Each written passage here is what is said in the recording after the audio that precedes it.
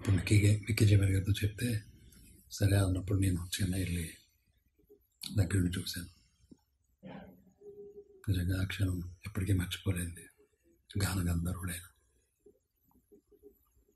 భగవంతుడు ఇప్పటి వరకు ఆయన చేత పాడించుకున్నాడు.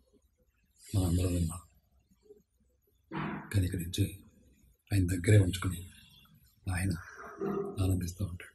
బహుశా ఆ గాన గంధర్వుడు లేని లోటు ఎవరూ తీర్చలేని ఎప్పటికీ తీరని లోటు.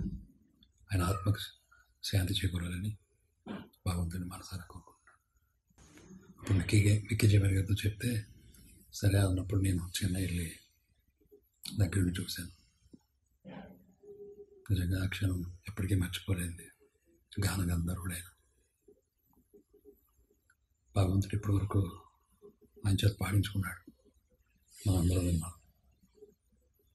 కనికరించి ఆయన దగ్గరే ఉంచుకుని ఆయన ఆనందిస్తూ ఉంటాడు. బహుశా ఆ గాన గంధర్వుడు లేని లోటు ఎవరూ తీర్చలేంది అప్పటికీ తీరని లోటు. ఆయన ఆత్మకు శాంతి చేకూరాలని